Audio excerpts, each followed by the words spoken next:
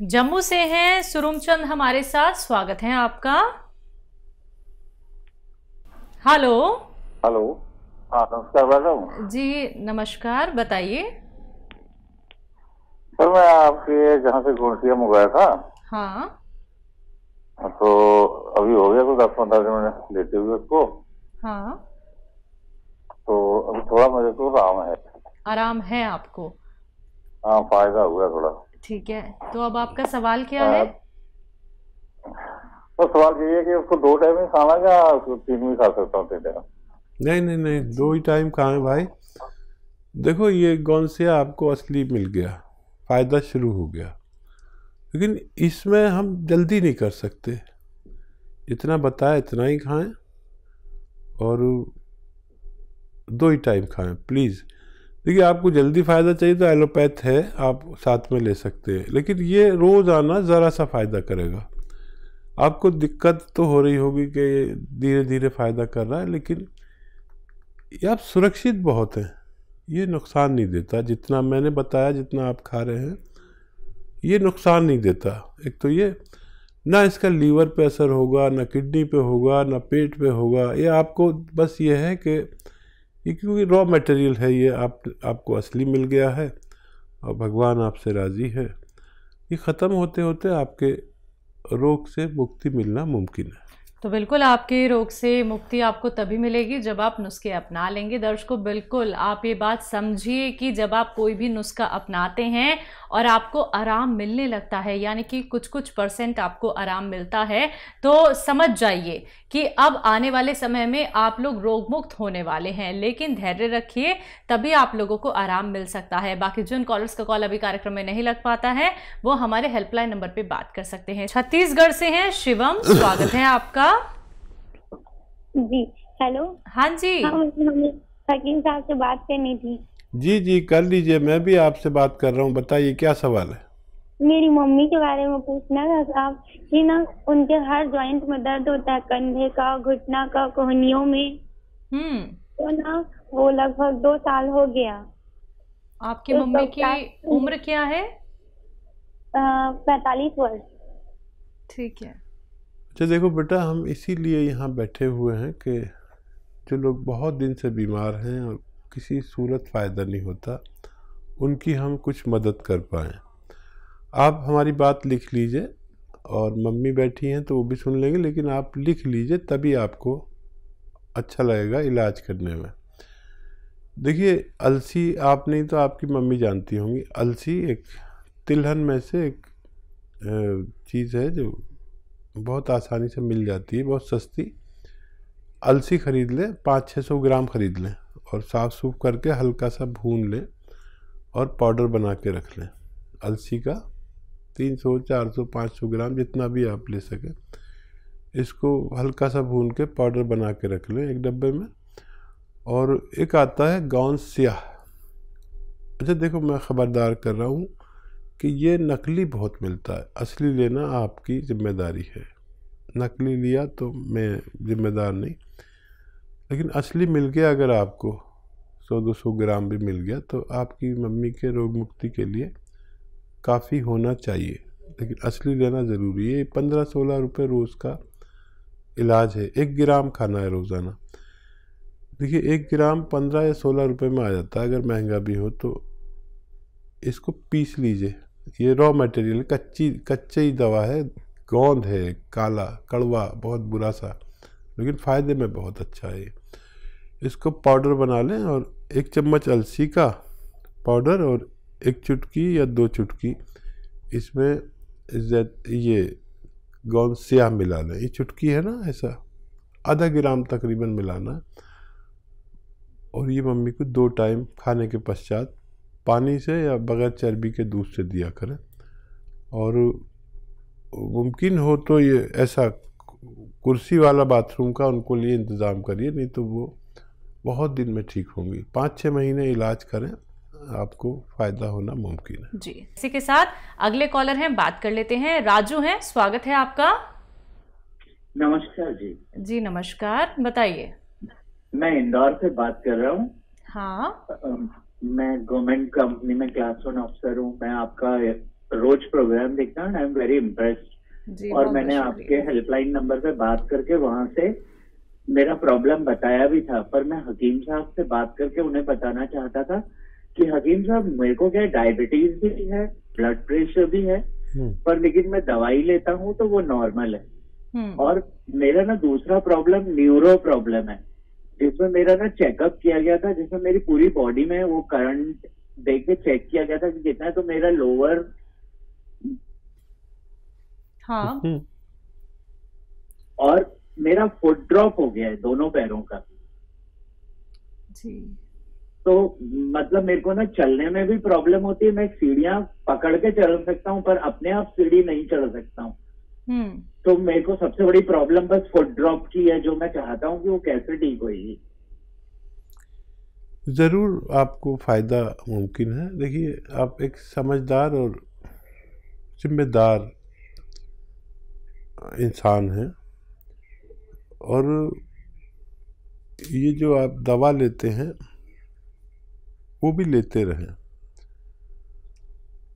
आपको लेना है गोंद सियाह, काला गोंद। ये काला गोंद अगर असली मिल जाता है तो आधा ग्राम सुबह, आधा ग्राम शाम। लीजिए आप इसे। देखिए, जैसे अभी आप फ़ोन सुन रहे थे, एक साहब कह रहे थे, जल्दी से फ़ायदा हो जाए तो तीन ग्राम, तीन बार खा लें तो ऐसा नहीं करें। ये कुदरती है ये चीज़ के, इसकी एक मकदार है कब खाना है, कितना खाना है, किस चीज़ से खाना है, इसी को हमत कहते हैं। तो आधा आधा ग्राम गोंद आप असली लेना ज़रूरी है। नकली भी बहुत मिलने लगा है। नाश्ते के बाद और रात को खाने के बाद बस आधा आधा ग्राम खाएँ और भगवान से खूब मदद मांगें। आप एक ज़िम्मेदार अहदे पर हैं। मैं भी दुआ करूँगा कि आपको फ़ायदा हो जाए। और डायबिटीज़ और ब्लड प्रेशर के लिए एक आता है जैतून का सिरका चाहें तो वो भी शुरू करें।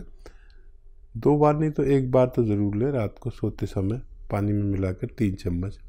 तो आप स्वस्थ ज़िंदगी गुजार सकते हैं। डायबिटीज़ को मुकम्मल फ़ायदा तो होता नहीं है, लेकिन डायबिटीज़ से होने वाले नुकसान को ये जैतून का सिरका रोक लेता है। और वो दवा भी खाएँ और ब्लड प्रेशर से निजात भी मिल सकती है अगर आप पाँच सात महीने लगातार इसको इस्तेमाल करें। मुझे बड़ा अच्छा लगेगा कि आपको फ़ायदा हो जाए और आप फ़ोन करके हमें बताएँ। तो हम एक ज़िम्मेदार और समझदार लोगों से बहुत ज़्यादा इम्प्रेस होते हैं जब वो उनका कॉल आता है। इंदौर से बहुत और कॉल भी आते हैं। हमारे कर्नल वर्मा एक बहुत बड़े ऑफिसर हैं।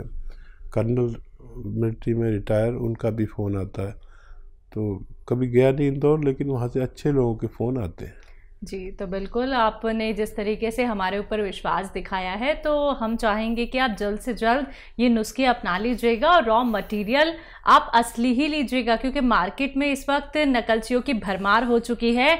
बहुत सारे रॉ मटेरियल अब मार्केट में उपलब्ध हैं, जो कि बिल्कुल नकली हैं। तो इन सारी चीज़ों से बस आपको बचना है, कोई भी रॉ मटेरियल आप मंगवाना चाहते हैं तो हकीम साहब की कंपनी से आप मंगवा सकते हैं। बात नेक्स्ट कॉलर से, उत्तराखंड से हमारे साथ हैं, स्वागत है आपका। नमस्कार मैडम। जी नमस्कार। तेज आवाज़ में बात कीजिए। डॉक्टर साहब को नमस्कार। जी। जय हिंद सर बताइए क्या सेवा? मेरी समस्या है जी मुझे पंद्रह बीस साल से डायबिटीज़ है। हम्म। और उसकी वजह से मेरे घुटनों से नीचे पैरों में सुनपन है। हम्म। चप्पल पहनता हूँ तो चप्पल उतर जाती है पता नहीं चलता गर्म ठंडे का पता नहीं चलता। और जी। चुप जाता है तो पता नहीं चलता इसके बारे में बताए क्या करना चाहिए मुझे। आपकी उम्र क्या है? उम्र लगभग पचपन साल है ठीक है। जी। अच्छा देखिए भाई ये सुनपन डायबिटीज़ की वजह से नहीं है मेरे अनुभव के अनुसार। ये तो नसें कमर में हमारे डिस्क में दबी रहती हैं उससे सुन होते हैं। सुन भी होते हैं, दर्द भी होता है, खिंचाव भी होता है और जलन भी होती है। ये चार कैफियत जिसको भी होती है, वो कमर में नसें दबने से होती हैं मेरे अनुभव के अनुसार। इसके लिए देखिए, गौन स्याह लीजिए अगर असली आप ले सकते हैं। आधा ग्राम सुबह, आधा ग्राम शाम नाश्ते और खाने के पश्चात खाया करें और वेस्टर्न टॉयलेट का यूज़ करें। ये कुर्सी वाला जो शौचालय होता है, इसका यूज़ करना ज़रूरी है ऐसे मरीज़ के लिए। और डायबिटीज़ के लिए जो दवा खाते हैं खाते रहें, उसके साथ में आप अगर जैतून का सिरका लेते हैं तो ये आपके लिए बहुत मुफीद है। ये आपके जीवन भर मदद करता है और वो नुकसान जो दवाओं से पहुँचते हैं, डायबिटीज़ से पहुँचते हैं, उनको रोक लेता है और डायबिटीज़ में भी बहुत कंट्रोल करता है।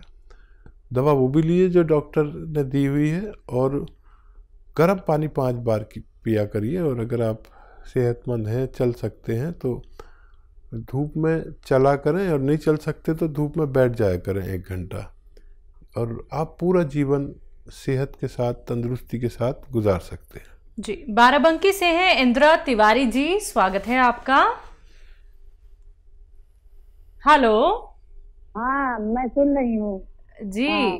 बताइए सवाल कर लीजिए। हाँ तो मेरा सवाल है कि मैं